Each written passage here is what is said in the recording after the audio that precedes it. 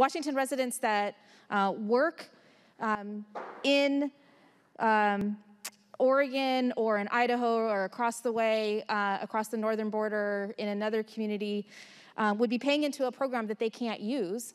And while we're taking an opportunity to um, develop this program and improve it, it's only fair that we give those people an exemption.